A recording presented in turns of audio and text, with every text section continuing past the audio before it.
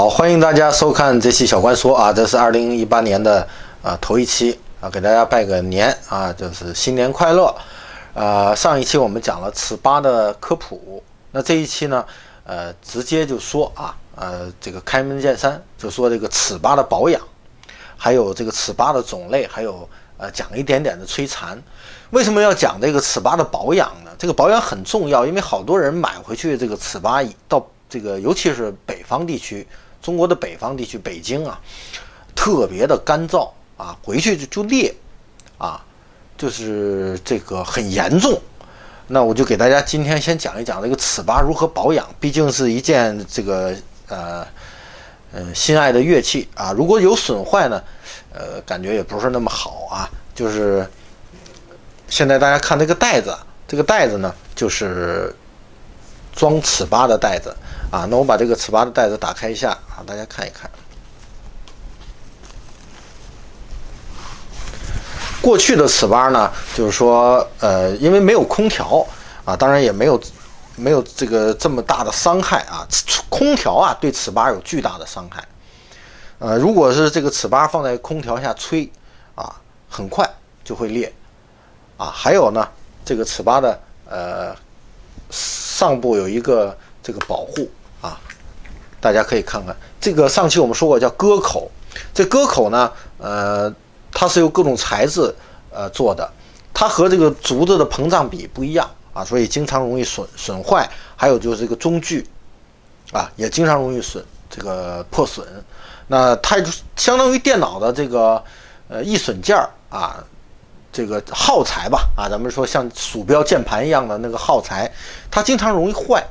啊，这个中距和这个割口，那这个身上如果有开裂，那只能到日本的专门修尺八的地方去修理，所以这个还很麻烦。希望大家能够像我刚才给大家展示一样啊，有个袋子，有一个呃这个保护的这么一个装置。那当然了，这个尺八呢，还是呃要这个打油，是什么油呢？跟大家讲一下，如果有纱布的话啊，拿一块纱布，然后。把核桃，啊核桃包在里面，啊把这个核桃砸碎，然后用这个纱布啊涂抹这个核桃油啊来保护它，来保护它，这个很重要，因为这个确实是干燥。呃，日本呢这个四周呢都是海洋啊海洋性气候，那相对还是潮湿一些。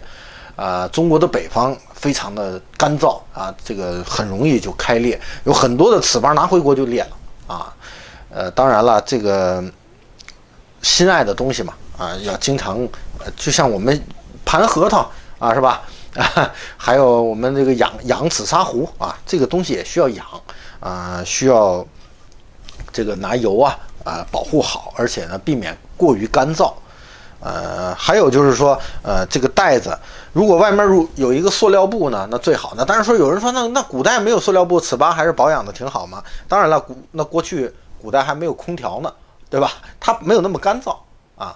现在大家都住在空调房间啊，最好这个外面再这个放上一层啊塑料布啊，那是更好了。当然啊，就这个一定要保养好。第二呢，我们上期的视频说，呃，这个一尺八寸，一尺八寸。那他说有好多朋友说这有有长有短啊。我们见过好多那个长短不同的尺八啊，这要就跟大家解释一下，这个尺八的尺寸呢。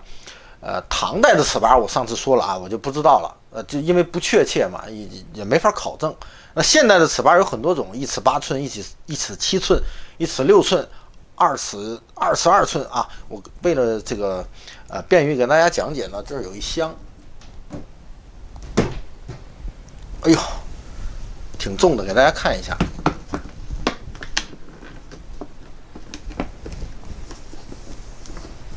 打开以后，我不知道大家现在能不能看清，啊，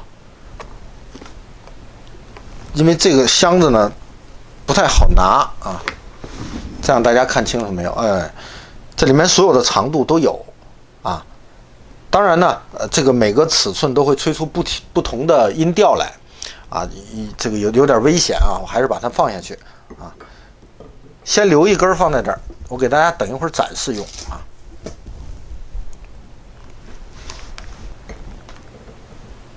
嗯，还是相当的危险啊。好，我把它合上。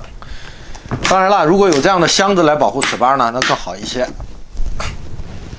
如果没有的话呢，就买一个塑料袋儿。当然了，呃，这个尺八大家看到了，比这个相对就短了。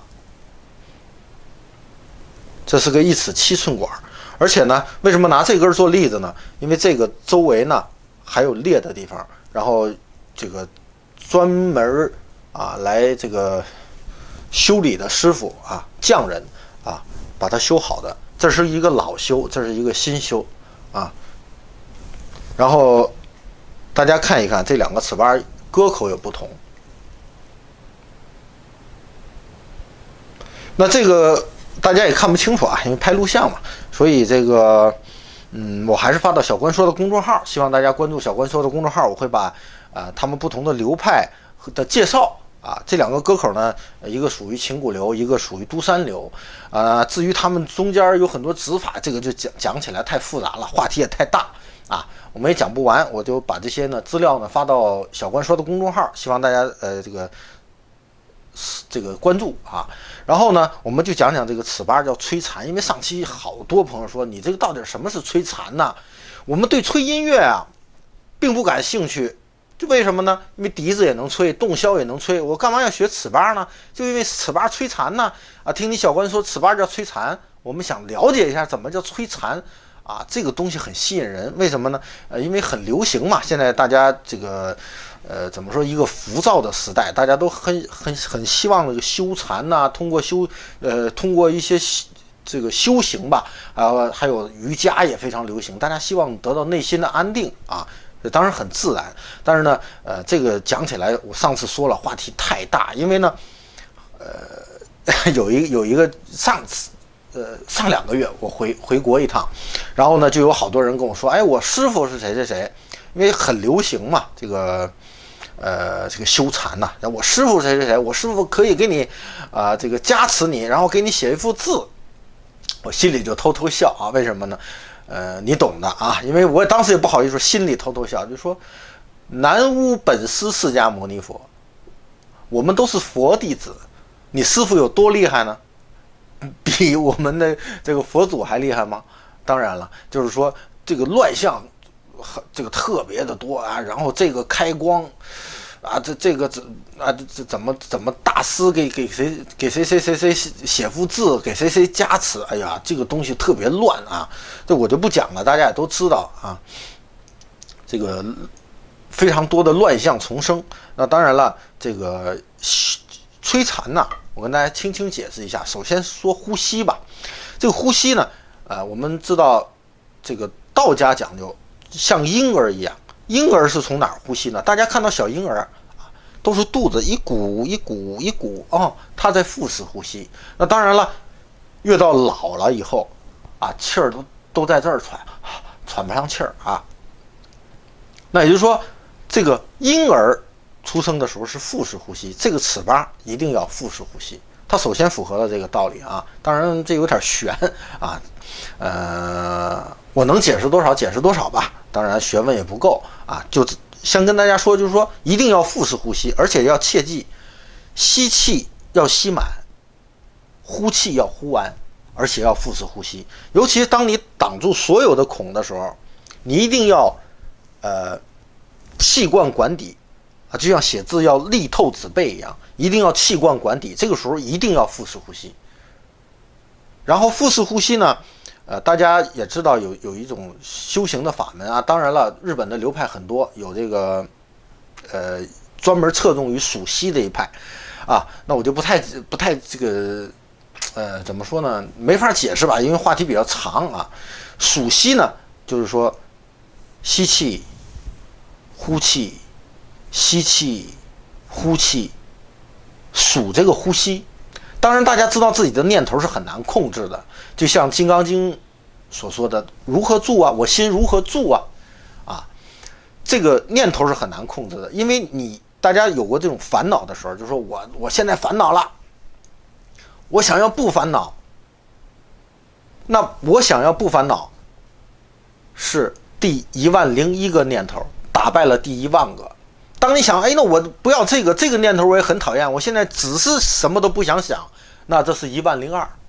你再想下去，一万零三、一万零四。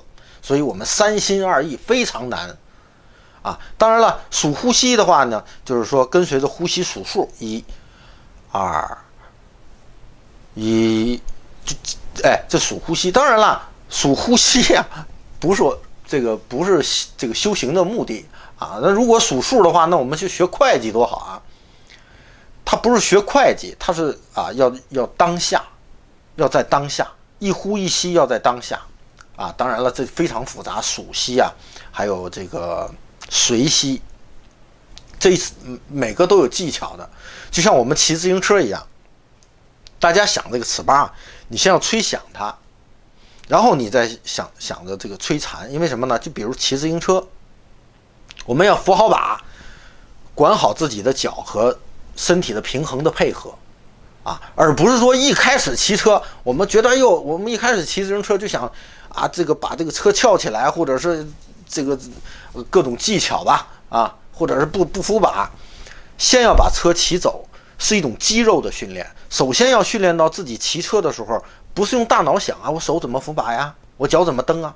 大脑反应已经慢了，是一种肌肉的记忆，这个需要刻意练习。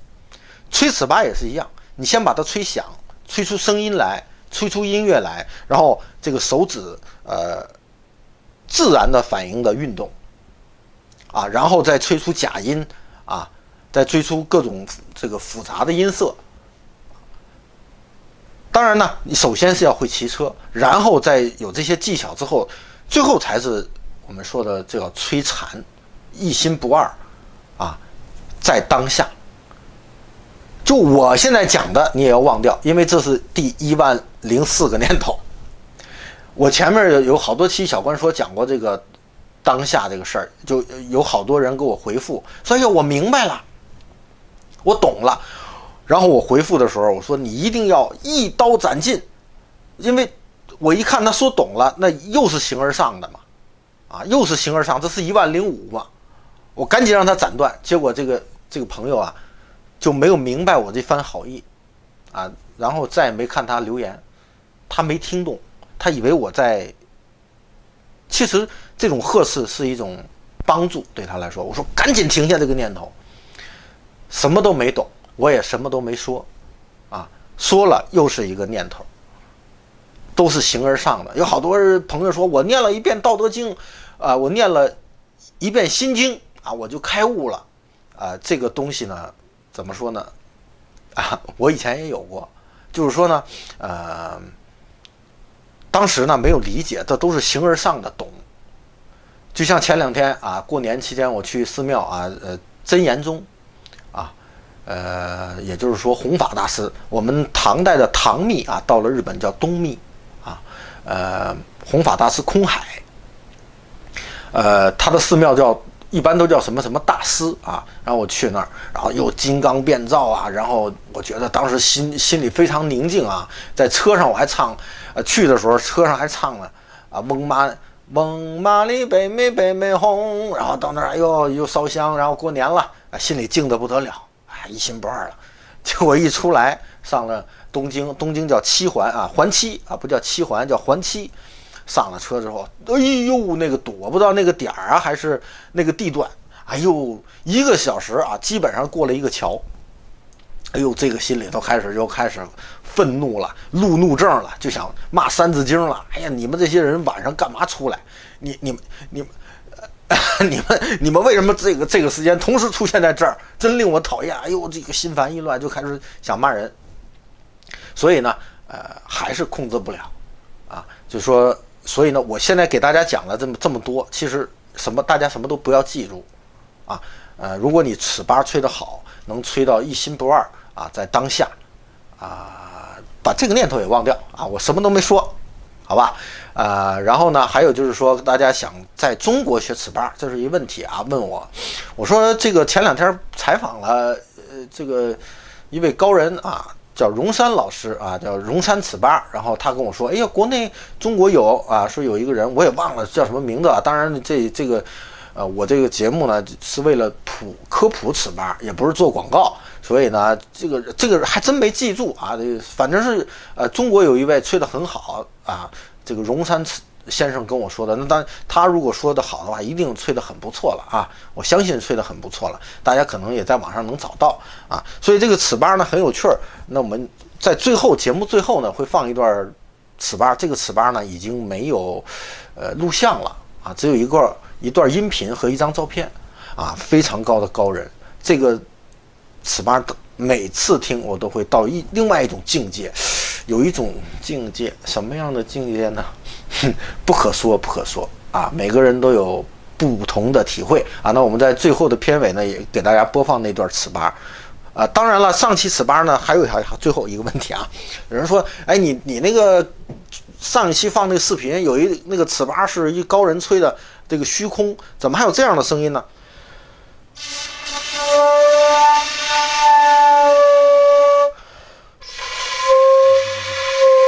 就是不准，就嘶嘶嘶的声音。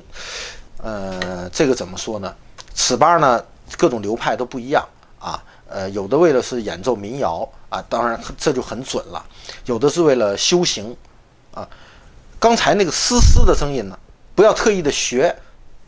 但是呢，我可以跟大家这个简单的讲一下。有点像书法里的飞白，就特那个笔里面飞出来那个白呀，呃，就墨中间那个白叫飞白，它这个声音呢就非常像飞白，但是不要刻意的学这个声音啊，啊，它自然有的时候就自然的有了，啊，这给大家解释一下。好了，那下面这个给大家解释也便于下面大家听啊，下一段给大家放一段非常牛的词吧。